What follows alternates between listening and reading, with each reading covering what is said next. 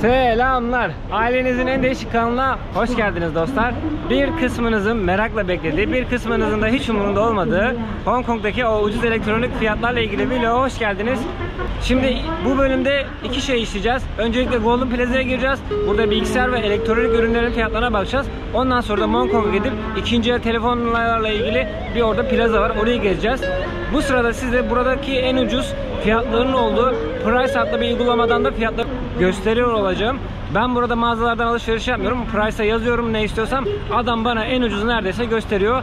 Bu vlogda GoPro 8 kullanıyorum. GoPro 8'i ben buradan yedek bataryası yani iki bataryalı GoPro 8'i 305 dolar civarında fiyatı aldım. Boynumdaki mikrofon da Boya M1'in yaka mikrofonu. Onu da 135 Hong Kong dolarına aldım. Ee, Türkiye fiyatını ve TL karşılığında yazıyor olacağım. Hadi öncelikle Golden Plaza'ya gezmekle başlayalım.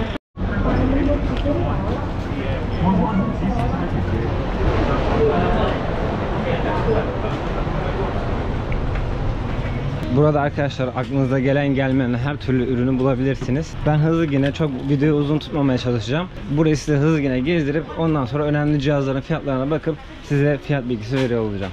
Baksanıza şu bilgisayarların güzelliğine.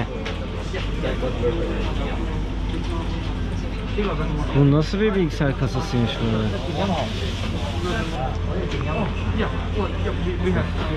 Herhalde bunlar oyun amaçlı hazırlanmış bilgisayarlar. Hemen çok kısa iki tane ekran kartı göstereyim size. Ee, MSI'ın RTX 2060 Super Ventus e, ekran kartı 8 GB DDR6 diyor yanılmıyorsam. 3349 Hong Kong. Burada da yine MSI'ın GTX 1060 Ti Ventus modeli bir ekran kartı var. O 6 GB e, 2299 Hong Kong dolarına satılıyor. Ee, çok detay ve ayrıntılarını bilmiyorum ekran kartlarının ama Türkiye ile burası arasında fiyat farkı var mı onu da emin değilim. Genele vurduğunuzda dünyanın en ucuz elektronik ürünlerini burada bulmanız mümkün. Bazı elektronik ürünler Japonya'da daha ucuzmuş, bazıları Tayvan'da diyorlar ama herkes elektronik alışveriş için buraya geliyor. Merak edenler için havuzda kart fiyatlarını da göstereyim. Ben geçen gün şundan aldım. 3 tane aldım. E, tanesini GoPro Fusion 360 taktım. Bir tanesini de drone'a takmıştım ama GoPro'mun SD kartı arıza verince GoPro'ma taktım. Şu an yüksek hızlı yazma kapasiteli şu 64 GB'lık hafıza kartı 110 Hong Kong doları. Bakarım Türkiye fiyatı kaç parası onun da karşılığına. Şimdi yazarım. Şöyle diğer fiyatları da size göstereyim. Yanılmıyorsam şu Samsung Evo da e, iyi bir şey. Hatta onun galiba bir de Pro'su var. 128 GB'lık Samsung Evo hafıza kartı 110 Kong dolarına satılıyor. USB belleklerde böyle 32 GB SanDisk'in USB belleği 48 Hong Kong doları 250'ye kadar gidiyor. 256 GB'lık fiyatı da 235 Hong Kong dolarına satılıyor. Hatta ben de şimdi bir de uygulamadan açayım bakalım Hong Kong'da aynısını daha ucuza bulabiliyormuş mu? Bulabiliyoruz mu? Şimdi ben şimdi Price uygulamasından aynı Flash Dix'e baktım. Ee, burada diyor ki 256 GB'lı 220 Hong Kong dolarını ararsan bulursun diyor yani var diyor. 220 ile 290 Hong Kong dolar arasında fiyatı da dolaşıyor. Burada kaç para da 235 Hong Kong doları. Yani buradan almaz da buradan almaya karar verirsen 15 Hong Kong doları daha kâra giriyorum. Ben böyle araçları araştıra, her modele, her site baka baka ekipmanlarımı daha ucuza topladım. Şimdi hemen DJI'nin yeni drone'unun fiyatını göstereyim size. Ee, Mavic Air 2'nin bir de combo modeli bu. 7699 Hong Kong doları. Ben hemen internetten bakmak istiyorum kaç aymış diye. Burada 7699 Hong Kong doları ya da internette de hemen 7599 Hong Kong dolarına combo modelinin en ucuz fiyatı var. Yani yaklaşık aynı fiyat sayılır. Bu mağaza ucuzmuş yani. Bir tane laptop göstereyim hemen şuradan size. MSI muhtemelen çok anlamıyorum ama oyun laptopudur bu. Burada 4 tane seçenek sunmuşlar size görüyorsunuz. Vay anam vay şuna bak. Benim laptop nere bu nere? Fiyatları da 11.499 Hong Kong dolarından başlıyor. 13.998 dolara gidiyor. Özellikleri böyle. RTX 2060 ekran kartı var. 6 GB DDR6. Herhalde bu abi her şeyi açar. Beni bile açarsın sen abi. Dediğim gibi laptoptan elektronikten hiç anlamam ama sadece size fiyat olsun diye göstermeye çalışıyorum. Bilgi olsun istiyorum. Bu Asus'un hangi modeli? Şurada modeli yazıyor. 6000 yani 7000 Hong Kong dolarına satılıyor. 8 GB DDR4 RAM'i var. 512 SSD'si var. Çok anlamam ama bana bu pahalı geldi. Abi şu bilgisayarı göstereceğim. Fiyata bakın ya. 15.000 Hong Kong doları. Vay arkadaş ya. Ne paraları var ya. Vay şu laptopun parasına ben dünyanın yarısını gezerim. Bu dünya, bu fiyatlar, bu rakamlar nereye gidiyor böyle bunun? Ne kadar pahalı. Hong Kong'da böyleyse artık diğer ülkelerde düşünebilir onu. Abi şu zımbırtı çok güzel ve çok sağlam bir şey. 1 TB'ını 679 Hong Kong dolarına, 2 TB'ını da 1038 Hong Kong dolarına satıyorlar. Bu yanılmıyorsam su geçirmiyor, suya batmıyor, kırılmıyor, kolay kolay bozulmuyor. Çok çok sağlam bir şey. Ama çok pahalı. Tam bana lazım olan bir şey. Bende de bundan var. Kaç paraymış yazmıyor. Western Digital bu. Ee, 1 TB'ı 332 Hong Kong doları, 2 TB'ı 468. Bunun fiyatı böyle. Zaten bunu herkes Türkiye fiyatını biliyordur. Ucuz pahalı şu an hiçbir fikrim yok. Drone demişken hemen size internetten o buradaki ucuz siteden diğer drone modellerin fiyatlarını da göstereyim. DJI Mavic Mini Combo modelini 3860 Hong Kong dolarına bulabiliyoruz. Bir de benim makineye bakalım. Bu da benim aldığım drone.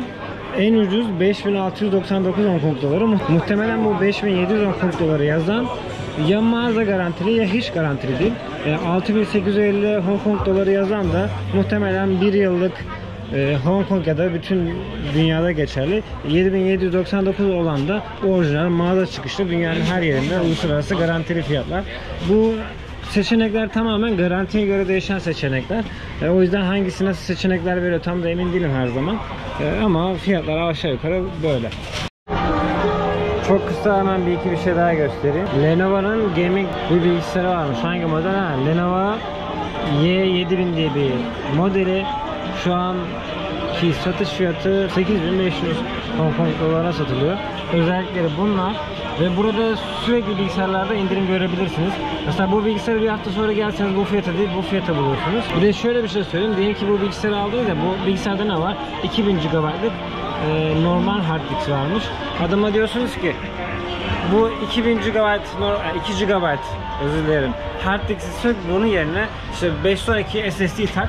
Hatta belki 2000'in yanına ekstradan da 512 ya da 256 SSD ekle diyebiliyorsunuz ve bunu ücretsiz yapabiliyorlar. Hatta böyle biraz yanaşıp biraz da böyle pazarlıkçı gözüyle yaparsınız alışverişinizi. Onlar zaten direkt size hemen diyor ki "E, gel sana şunu da ekstra takayım bunu sana ekstra takayım diye zaten kendileri öneride bulunuyor. Ben yaklaşık iki buçuk saattir geziyorum ama size sadece 6-7 dakikalık görüntü aldım. Çünkü herkesin ilgisini çekmeyecek bir konuydu. Belki böyle çok daha detaylı ve uzun versiyonunu ikinci kanalda yaparım. Şimdi buraya her geldiğimde beni böyle içine zorla sokan, zorla çeken bir tane dükkan var. Size oraya götürüyorum. Ben oraya diyorum ki AliExpress'in dükkan hali. O kadar çok ıvır zıvır var ki. Abi sabahın 8'inde de gelseniz insan dolu. Akşamın kapanma saati 9'unda 10'da da gelseniz insan dolu. Şimdi böyle içeri gireceğiz. E, Kaydeder bir şey var mı derseniz yok ama insan her içeri girdiğinde bir şeyler almak istiyor. Ivır zıvırcının teki.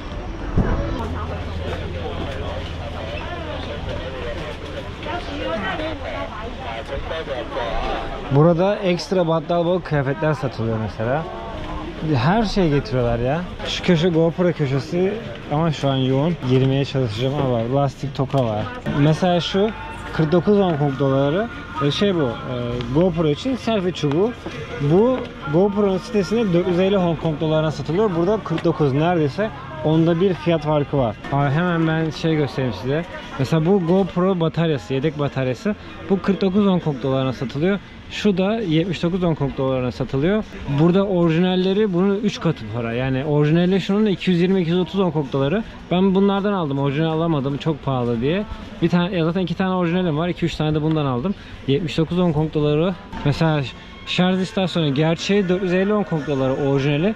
Ben bu çakmasını aldım. 69 Hong Kong doları. Pilleri dolduruyor mu? Dolduruyor. Benim işimi görüyor mu? Görüyor. Ben ona bakıyorum. Böyle cam kılıf falan orijinal almaya kalksanız dünya para.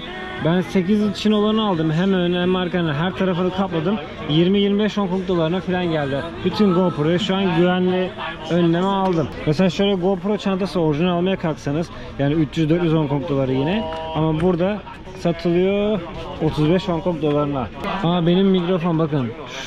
Şu benim mikrofonum boya e, boyanın BY MM1'miş modelin tam adı.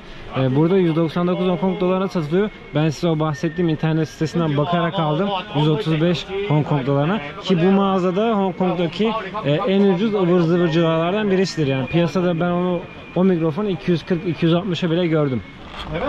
Yani GoPro'nun gerçekten e, yedek parçalarını orijinal almaya kalkarsanız GoPro'nun parasını geçiyor. O yüzden çakma almak zorundayız. Abi sosyal mesafe, mosel mesafeymiş. Hak getire. Ha, herkes maske takıyor, dezenfektan kullanıyor ama sos- şu dükkanda hiçbir zaman sosyal mesafe görmedim. Mesela şöyle kocaman bir şey 9 Hong Kong doları. Yani 1 dolardan biraz fazla. Böyle Çin ya bunlar da böyle var ya şu dükkana geze, gezsek böyle baştan sona böyle acayip böyle değişik ıvır zıvırlar var. Böyle hani bir iş fişe şakası böyle 40 tane işe yarayan şeyler dolu bir dükkan.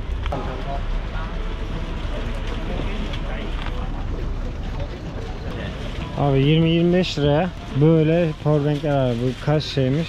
10.000 mah yazıyor. Ne kadar? 35 Hong Kong doları. Ne kadar 10.000 mahtır geçerlidir bu rakam? Tabii ki malum. Sonuçta çakma bir mah. Ekipmanlarım için böyle elektronik su geçirmez bir çanta bakıyorum. İşte yani hiç de anladığım şeyler değildir bu çanta işleri. Bu mesela böyle bir çanta 149 Hong Kong dolarına. Şöyle güzel bir çanta var. 129 Hong Kong dolar ama bana su geçirmeyen bir şey lazım. Bunlar sanırsam su geçirir. Şöyle güzel ve sağlam bir şey var. Buna karmış 169 Hong Kong dolarına satılıyor. Daha sonra çantamı gelip buradan alacağım ben. Mesela şu güzel bir şeymiş katlamalı filan. 159. Bu su geçirmezse bile dayanıklı bir şeye benziyor. Zaten bana tam su geçirmez değil de dayanıklı bir şey yeterli. Bu çantada 139 Hong Kong dolarına satılıyor.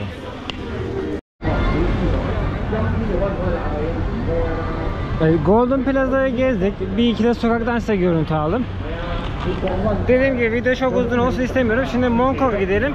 Sizi daha çok ilgilendiren telefon fiyatlarına bakalım. Ben de son durum bilmiyorum. Telefonlar kaç para? Öğrenmiş olalım. Şimdi Hong Kong'a geldik. Eğer olur da bir gün yolunuz Hong Kong'a düşerse kesinlikle ikinci el için ayrı bir semt, sıfır bilgisayar için ayrı bir semt, sıfır telefon için ayrı bir semt. Hatta daha öncesinde bu semtleri gezmeden önce mutlaka internetten araştırma yapın. Gerçekten Hong Kong'dayken bile internette bir araştırma yaparak Hong Kong'daki bu ucuz fiyatların bile %10 ile %30 arası daha ucuza ürün bulmanız gerçekten çok büyük olası. Şu anda ben ikinci el ve sıfır ürünlerin satıldığı Hong Kong'da Ladies Market'in en sondaki çarşıya gidiyorum. Mesela bu Broadway ve bunun muadili birçok mağaza, elektronik mağaza. Kesinlikle buraya gelmiyorsunuz. Buranın önünden bile geçmiyorsunuz. Çünkü fiyatlar neredeyse Türkiye ile aynı burada. Şimdi size bahsettiğim yere geldim. Burada birçok ikinci elci var. Sıfır telefonlar da bulabilirsiniz burada. Ben size buradaki fiyatları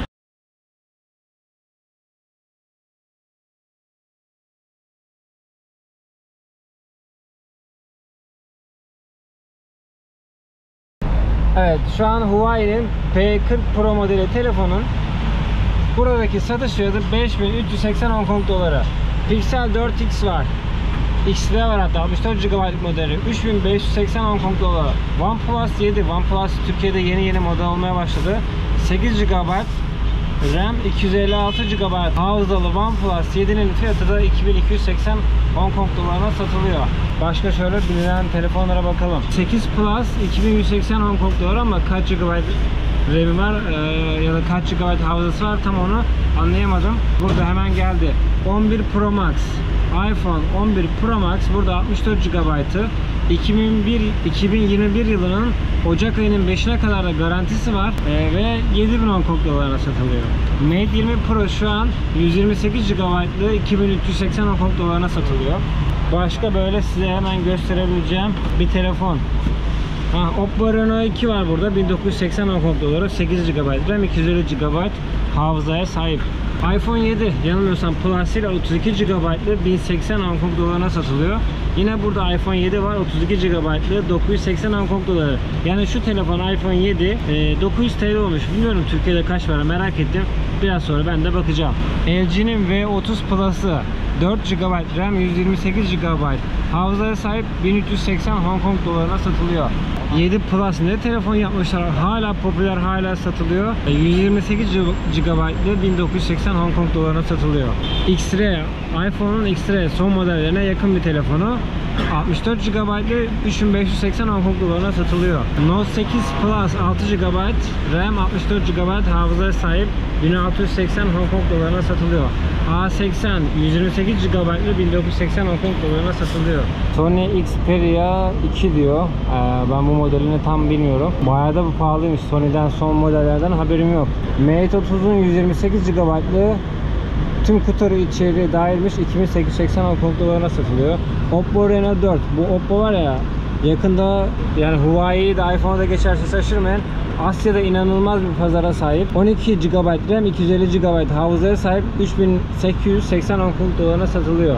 Samsung A70 yanılmıyorsam Türkiye'de de bu telefon orta seviye bir telefon yani orta yaş ve üstü insanların tercih ettiği bir telefon. 6 GB RAM, 128 GB hard disk var 1480 Hong Kong dolarına satılıyor. Böyle bakıyorum hemen değişik bir şey var mı diye. OnePlus 7 Pro 2980 Hong doları. 256 GB'lık modeli. Diğer telefonların fiyatlarını siz gördünüz. Fiyatlar böyle diye. Hadi içeri girelim şimdi. iPhone, en ucuz iPhone burada mıdır bilmiyorum ama en ucuz Android, dünyadaki en ucuz Android telefonlar burada olabilir. iPhone'ların bazıları Japonya'da daha ucuz deniyor ama e, Japonya'ya gitmedim henüz onu test edemedim. Evet, 0 iPhone X 256 GB'lı 4380 Hong Kong doları. 256 GB Pro Max'ta 8180 Hong Kong dolarına satılıyor. Ben size videonun sonunda bu iPhone'ların falan böyle sıfır fiyatlarını da gösteriyor olacağım. Benim telefonumu ucuza tamir ettiren çocuk burada. Görürsek bir selam verelim ona. Ha buradaydı ama şu an yok.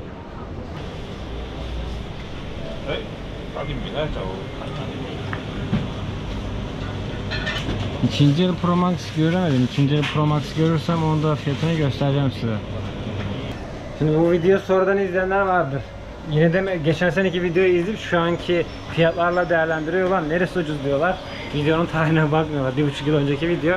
Arkadaşlar bu video şu an Temmuz'un 20'si gibi çekiliyor. Bakayım. 21'iymiş hatta. Bakın 11 SX Max 64 GB 4008 Hong Kong doları. 11'in sıfırı 5780 Hong Kong doları. 128 GB'lık iPhone 11 5780 burada da 256 GB ile 7980. Çok kez tekrarlıyor olabilirim. Belki aralarında fiyat farkı vardır emin değilim. Siz takip ederken görmüşsünüzdür zaten. Ben fiyat farkı var mı yok mu çok seçemedim. Bir şey de söylemek istiyorum. Ülkemizde pazarı bulunmayan birçok telefon markası var. Özellikle e, bu Asya'da, Çin'de falan yapılan birçok telefon markası var. Gerçekten bizim ülkemizde neden pazarı yok ya da büyük reklam gelirlerine sahip olmadığı için belki pazarı yok. Ve inanın şu an piyasada 5 milyar 10 milyar verip aldığımız birçok telefonun aynı özelliklerine sahip ama daha düşük fiyata telefonlar bulabiliriz.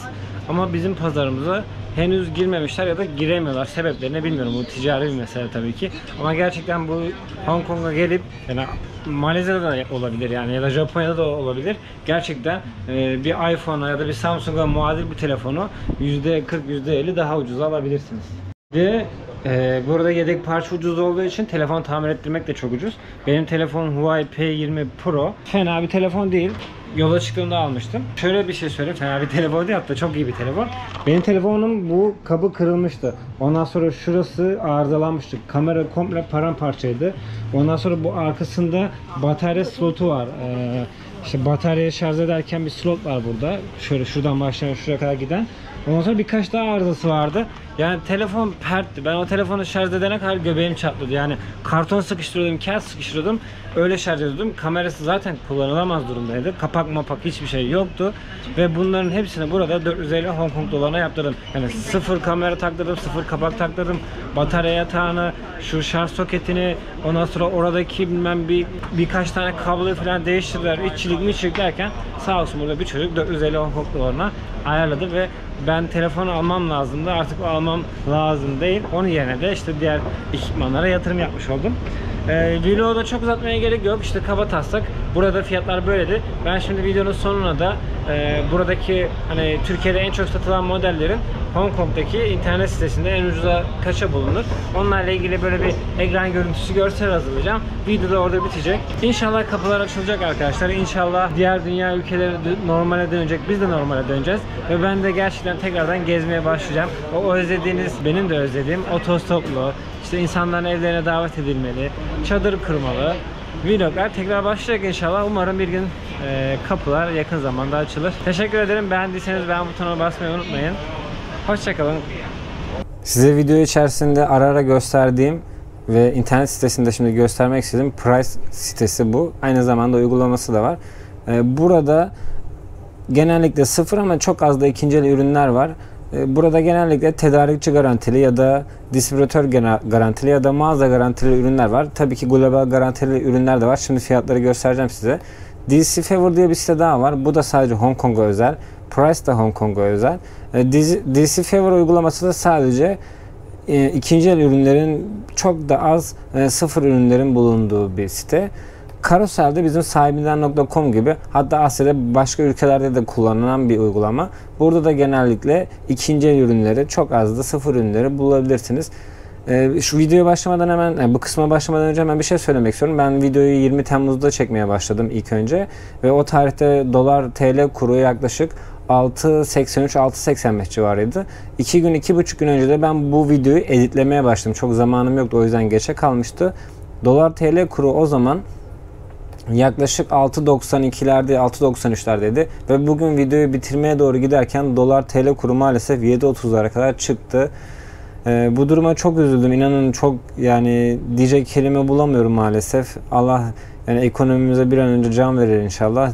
Yani başka ne diyebilirim ki bilmiyorum. O yüzden fiyatlardaki değişkenlik yani TL karşılığındaki değişkenliğe e, bakmayın ben burada yaklaşık 6.90 gibi bir ortalamaya baz alarak TL fiyatlarını video içerisinde yazdım ama şu an dolar 7.30 belki yarına tekrar 6.80 olacak bilemiyorum.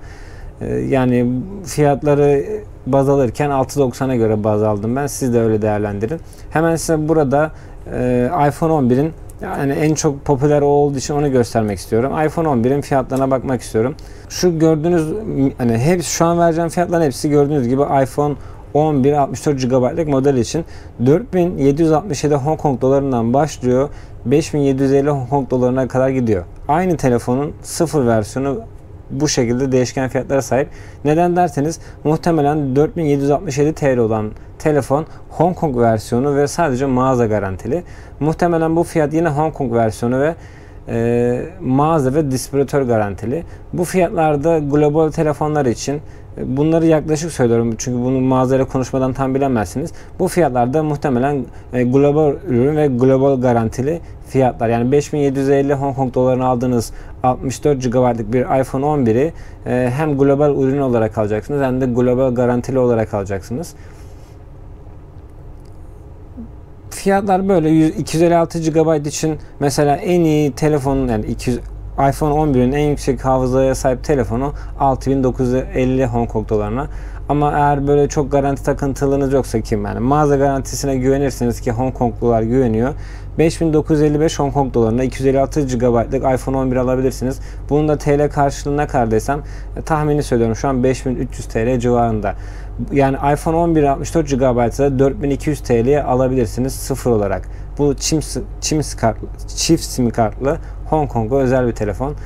Yani bu para buradaki adamlar için bir haftalık maaş gibi bir şey diyeyim size arkadaşlar. Ee, Hemen DC Favor'dan da ikinci el bakayım. Biraz burada çok karışık ürünler var. Neden derseniz insanlar buraya E, Çin malı da katıyor araya. O yüzden fiyatlar e, şaşırtabiliyorsunuz. E, Bu hiç yepyeni açılmamıştı. Bazı insanlar burada sıfır ürünleri de satıyor. 5810 Hong dolarına 128 GB'lık iPhone 11 satıyor bu arkadaş. Çift sim kart diyor. Bu Hong Kong versiyonu ikinci el bir telefon. Kasım 2020'ye kadar garantili diyor. Yani muhtemelen 7-8 ay kullanmış bütün kutu içeriği olan bir telefonu 4300 Hong Kong dolarına satıyor bu arkadaş. Garantisi de var. Yani TL cinsinden 3900 TL yapıyor arkadaşlar. Şu telefonu e, 3900 TL'ye ikinci el olarak burada satıyorlar. Daha bu sitelerde birçok şey bulabilirsiniz. Yani e, aklınıza ne geliyorsa elektronik ürün olarak bulabilirsiniz ama video çok uzun olacağı için e, ben çok bahsetmeyeceğim. E, Seagate'in 1 TB'lık e, bir hard diskini 280 Hong dolarına satıyorlar ve bunlarda da pazarlık anlayışı var. İnanın şunda en az 30-40 HK'de belki 50 HK'de indirime gidebilir. Yani 200 TL'ye 1 TB'lık bir hard diski alabilirsiniz. Karoselden de hemen fiyatlar bakalım. Yine iPhone 11'e bakalım. Ben altta, alta linkler bırakacağım. İsteyenler bu sitelere girip hani böyle canı sıkılan varsa e, bakabilir fiyatlara. Burada iPhone 11'in mesela 6000 HKD bir fiyatı var. E, 5300-5400 TL yapar. Bu fiyatlarda var arkadaşlar ama bu yani şu bazdaki fiyatların e, tam güvenilir olmuyor. Bazen gerçekten hani kullanılmış garantisi bitmiş bu telefonları bu fiyatlara verebiliyorlar ama araya böyle insanlar Çin versiyonu telefonlarda katabiliyor. O yüzden e, çok emin olamıyoruz. Mesela 3000 HK'de iPhone 11 satıyormuş bu adam. Hemen özelliklerine bakmaya çalışalım. Evet garantili bakın 2021'in e, Mart ayının 23'üne kadar garantisi olan bir telefonu iPhone 11'i yani şu an gördüğünüz 3000 HKD satılan bu telefonu rastgele tıkladım. yani 3000 Hong Kong doları 2600 TL gibi bir para yapıyor arkadaşlar ve garantisi de devam ediyor. Daha 7-8 ay yaklaşık neredeyse garantisi var. Fiyatlar bu şekildeydi. Burada gerçekten ikinci el ürünü araştırmaya kalkarsanız çok ucuza bulabilirsiniz. Ben Türkiye'den alabileceğim e, bir DJI'ın e, hemen buradan da bakalım size hatta orası sırada. Türkiye'den bir DJI e, Mavic Air almaya kalksaydım yani drone'un sıfır fiyatını almaya kalksaydım e, belki 6-7 milyardı. Ben burada 6-7 milyara hem DJI Mavic Air aldım hem e, GoPro 8 aldım. İnanın aksesuarlarını da aldım. Belki bir DJI Mavic parasına değildir. Bakın satılmış şu 3000 HKD'ye satılmış. Yani 2700 TL'ye adam e, combo modelini satmış. Ve bu paket içeri de neredeyse full duruyor. Yani bu adam bunu 2700'den daha az hatta 2700 bile değil. Yani gerçekten ben de 3200 HKD aldım. Benim aldığım dediğim gibi adam iki kere kullanmış sadece. 3100'e yani 3500'e temizliğine göre combo modellerinden bahsediyorum. Burada bulabilirsiniz. Çok fazla da dediğim gibi detay girmek istemiyorum. Linkleri bırakacağım. Siz isterseniz buradan fiyatlara bakabilirsiniz. Videoyu izlediyseniz ve beğendiyseniz teşekkür ederim. Benim göstereceklerim bu kadardı. Sağ olun.